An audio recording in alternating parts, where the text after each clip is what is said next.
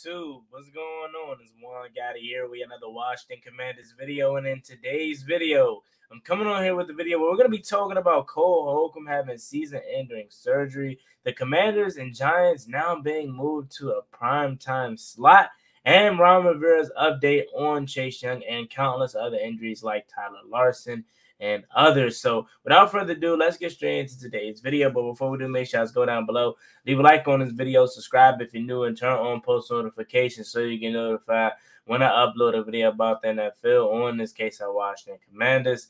on the road to 5,000 subscribers. Let's get straight into today's video. So, how we doing? Yesterday, as you can see, I didn't do no upload yesterday because I still was kind of feeling away about the tie. And um quite frankly, how do y'all feel about it now, two days removed from it? Me, I feel, if not worse, still the same because we should be eight and five right now. And I know y'all tired of hearing me say that because you know early in the season I was like, we should have beat Minnesota. We should have beat uh we should have beat uh uh uh um what was the other team we lost to that we should have beat uh Tennessee in week five. I understand that, and and that's true. We should have beat those teams, right? But uh, like it, we lost. Okay, so like an outcome came to to came about, but a tie, no outcome really came, but nothing, unfinished business. You know, empty calories. And looking back at that game, we should have been. We should be a and five right now. Okay, countless opportunities that we that we uh left out on the table. The Giants could not mess with Terry McLaurin, couldn't mess with any of our receivers, and we just took I don't know, we just got comfortable early. Like momentum shifted after going up 10 and then we just we just took our foot off the gas and then we came back late and then the overtime just killed my brain cells because it's like bro how do we do this? We had two chances in overtime. One possession when we were literally five yards away from Joey Slye's range. Now i don't know if he makes it but at least give him an attempt. You run a beautiful handoff to curtis samuel who gets you by like 25 30 yards. You need five more yards to get into Joey Slye's range for his uh for for his kick uh and we didn't do that. I mean, Scott Turner runs screens galore, bro, and they do no, they never work. I don't understand why he constantly does them. And not only does he do it, he throws it to the wrong people. Okay, like this guy is bad, man. And I, and, I, and y'all hear me say it. I'm probably the number one, you know, Scott Turner needs to be fired fan in the fan base. And I just hope they see it, bro. Like, and I, and I know they don't. I know the coaching staff don't. I know Ron Rivera is loyal to his guys, man. But I just, I wish at some point they saw what we see on a weekly basis. Like, he is hindering this team from progressing. Like, he is one of the main reasons why we lost that game, if not the main reason, because when you get two opportunities in overtime, not to mention it's already a shortened overtime, you're only getting 10 minutes in overtime. So the fact that your defense got you two stops and you weren't able to do anything with it, bro, you literally ran a draw on third and 10, basically saying you don't trust your quarterback. You don't trust your quarterback, but don't don't don't don't surrender. Don't throw in a white towel and, and just say we're gonna play for the tie. At least allow him to try to pick up the first down through the air. And then if he doesn't get it, then you punt and just finish, but then you just settle with the tie. Earlier, fourth and three. Wasn't it fourth and three? And then we decided to punt. Why not go for it? Why not go for it? You had you have, you know what I'm saying? Uh you have, you know, an offense that's capable of getting three yards. And I I know this may sound crazy, but I would much rather lose trying to go for the win than playing scared and not going for it at all. Like we played with such a loser's mentality in, in Sunday's overtime game. It, it's crazy. Like we shouldn't have lost that game, ladies and gentlemen. But it is what it is. The team is uh, on their bye week now. It's already in the books. But let's start there. The Giants and Commanders game, they have been flexed to Sunday night football, which is not a surprise at all because this is a huge game. Playoff implications ride heavily on this game. We're at home. We're having a Sunday night football game, man. I wish I could go to this game. I wish I had the funds to go to this game. Anybody want to lend me a ticket? I want to go so bad, man, because I know that stadium is going to be rocking. Jonathan Allen already has came out and said that he's going to try to give away as many tickets as he's as he can um, to have uh, all the fans behind us because this is a big game. This is the season, in, in Jonathan Allen's words. So this is a huge game coming up post by not this weekend, but next weekend, man. We got all week, all week in next week to talk about it. But it's a huge game, and they're flexing it to Sunday night football. And I really hope that we can get it done in front of the home crowd. Um, but again, it, it sucks, and it, it, sucks that we tied on a week where we have a bye because now we got to sit with this bitter taste in our mouth for an extra week. Uh, you know, we got to sit and watch these games play out on Sunday, and and and, uh, and, and still have that tie on our taste buds, man. I just want to get it off so badly, man, because it sucks, especially in the fashion that we did it. Um, and but it is what it is.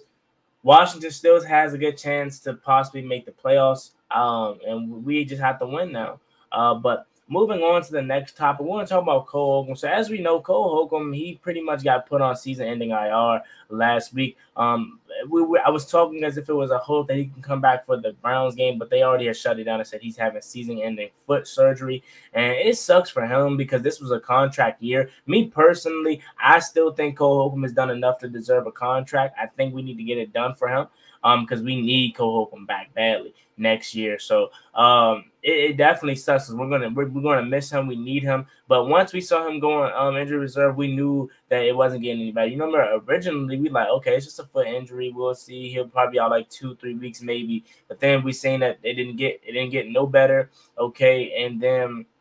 Um, they put him on IR, and then now he's having season-ending foot surgery. So his 2022-2023 campaign is over, and we'll see him back next year, hopefully in the burgundy and gold. Um, and then now moving over to some more injuries. Tyler Larsen, he is to believe to have suffered a dislocated kneecap, which more which will end his season more likely than not. Now they're going to do uh uh they're going to do a second opinion on it um to be sure, but more likely than not, that's the case that's the case of his injury. Um, you know, uh uh uh, dislocated kneecap, and, and it sucks because he is the guy that pretty much stabilized this uh this this this line since Chase Roullier went out. Now we're now we're stick with now we're stuck with Nick Martin. Um, I wouldn't be surprised if when Wes Schweitzer, you know, gets a little bit more acclimated back to the offensive line, he'll probably get stuck back in there. But now we're, we're down. We're down our two centers for two centers for the second year in a row. Remember, Chase Roullier had a season end injury last year. Tyler Larsen had a season end injury last year, and now both of them have having it again. We just have bad luck with our centers. Uh, so it definitely sucks because he helped stabilize his offensive line. But hopefully we are okay and Nick Martin can pick up where he left off. But my concern is definitely high when it comes to the center position because we remember last time Nick Martin had to come in for Tyler Larsen. It wasn't a pretty sight that first Eagles game. So um now let's go over to Chase Young. Um, Ron Rivera had this to say about Chase Young. Uh, on Chase Young, Rivera said that with the way the front is playing, there's no need to put him out there right now. They have time to wait until he's 100% ready or as close to possible uh, as he can be. Um, Rivera made it clear about Chase Young. The only real way he for him to play to get any true work on this is out on the field. Rivera says Commanders D is playing well enough that there uh, is no need to push Young as he's ready to go we will get him out there. It's just uh, him being comfortable. Um, Rivera said the delay in Chase Young's return is the is that he needs true on-field work to get over the mental hurdles that remain. But since the season is in its final weeks, there's not much more real practice time to go around per Ron Rivera. So his two options are basically game or nothing. And that's pretty much what it is. You know what I'm saying? Either you're at this point, it's four games left either you're gonna play him or not. Like it's no, it's no, it's no point in holding him or or or or or, or saying mental hurdles. It's either you're gonna play him at, at this point or not. Because how do you expect him to get over these mental hurdles that he had if you're not going to play him? Okay, I totally get it. No, I've never got had a significant injury like Chase Young. Okay, but I totally get it. Okay, when you injure something, you're going to be mentally fragile. You're going to be mentally scared because you're like, I don't want to re-aggravate this injury. I don't want to re-hurt. You know, when you first get out there and when you first get back on the field. But how do you expect him to be okay? You can't replicate game game like situations in practice. Never, no matter how hard you try, you're not going to be able to practice guys falling at his knee. You know what I'm saying? Falling around his knee. You know, guys trying to actually test that knee and block him from getting to their core. You're not gonna be able to test that in practice, okay? That's not gonna be able to. That's not gonna be tested against dummies and, and bags that he's hitting in practice. That if you want him to get mentally ready and want him to get better, you got to put him out there, Ron. You know what I'm saying? You cannot continue to baby him because I see if they would have said he just doesn't look explosive off that knee, that knee just does not look right. They're saying now it's mental hurdles, which I'm not mad at Chase Young about. I totally understand Chase Young's point. Okay, but Ron Rivera and this and this coach staff and training staff not putting him out there due to mental hurdles. You cannot, you can't brace him. You can't prepare him. It doesn't matter how hard you try. He has to go out there and experience it. Okay. It doesn't matter what you do. Okay. It doesn't matter how look, it doesn't matter how many times you try to teach your your your kid how to drive a car verbally, okay, or in a parking lot. They're not going to get better at all. They're not going to get mentally comfortable at all unless you put them out there on the real world, on the real road. That same thing applies to Chase Young. You're not going to physically and mentally get him right, and he's not going to be able to physically and mentally get back to him old self unless he plays football.